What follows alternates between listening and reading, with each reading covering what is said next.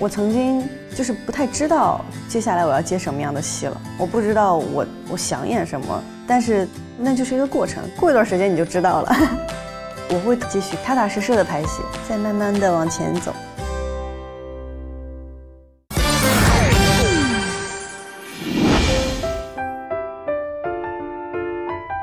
很小就喜欢看电视，我对演戏的演员，他呈现的角色给我带来的东西，我是当下能感知的。当我还是小朋友的时候，我就觉得我想要跟他一样。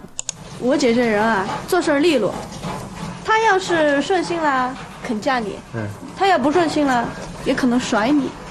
很小的时候接戏，我都会想这部戏我能学到什么，就像打野一样，累积了经验。当后面角色重一点了。需要你付出更多的时候，你就都能拿出来用。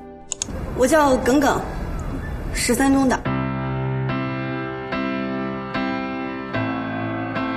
从业以来，我真的有在每一部戏都学到东西。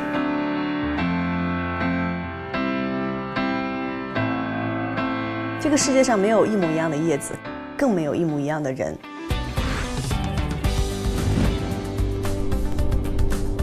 你为什么会选择飞行员作为职业？因为自由，飞行员可以让我遵从内心，更自在的生活。我非常喜欢程潇的成长路线。你想劝退我？你不适合做一名客运飞行员。你凭什么这么说？我程潇的人生你左右不了。他的坚定，他的勇敢，他的热烈，想让我放弃，不可能。甚至他的冲动，再到后来他的自控。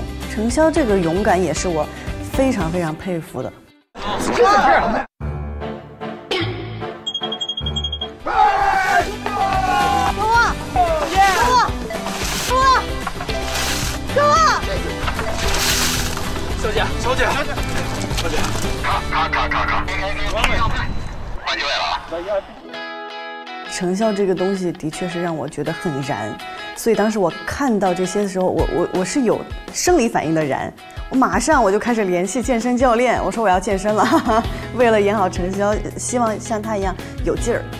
最后一个落地，能不能做到最好？不止最好，我要做到完美。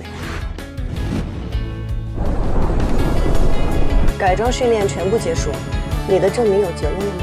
目前为止，我认同你心里的评分。也非常喜欢程潇和顾南亭的爱情。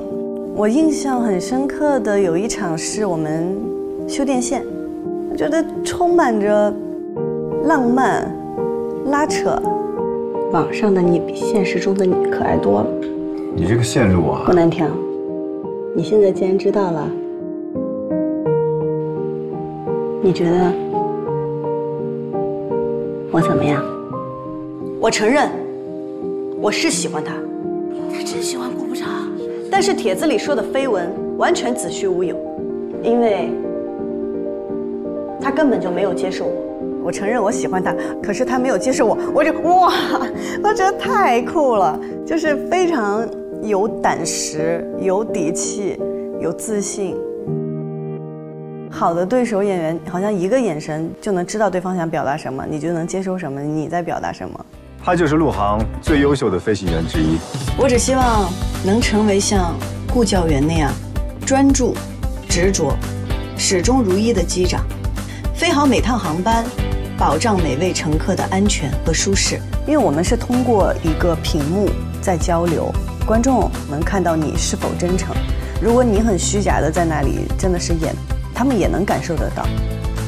所以我也需要很真诚的去表演我的角色。